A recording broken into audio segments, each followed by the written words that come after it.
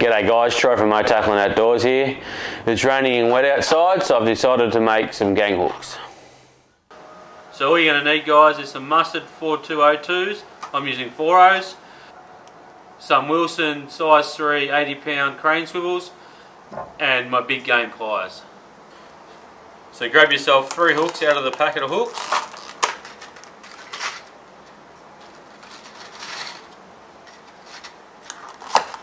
And as you can see, these hooks are slightly open already, but we will have to open them a little bit more to fit the swivel in.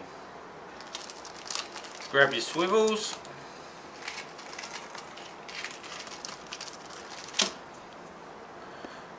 So your first step is to actually open this eye a bit more as the swivel actually won't go in there. So we'll open it up on the pliers. They got three bits here which you can push your hook into. So you just place the hook into it, hook in it and squeeze it and that'll open it a little bit more.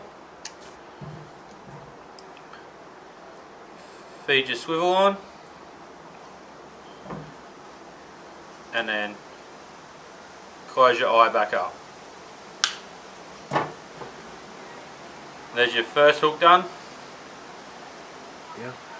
So open the second hook up, just squeeze a little bit, opens up.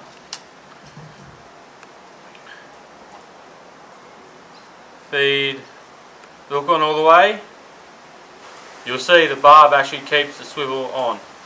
Grab another, grab another swivel, whack it on, close it up.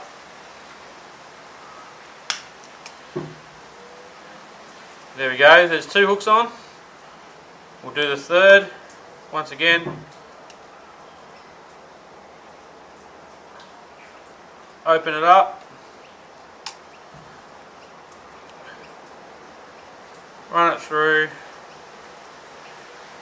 Now this, like that, ready to go. On this last hook, some people do like to put a swivel on it and some people don't. It's personal preference. I like to put a swivel on it, stops the line twist.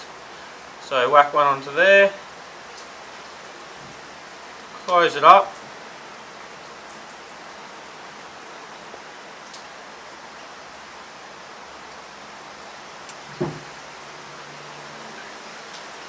And there you go, there's the finished product.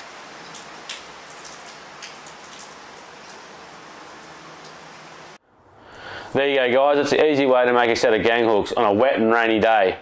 So you're set up ready for your next adventure.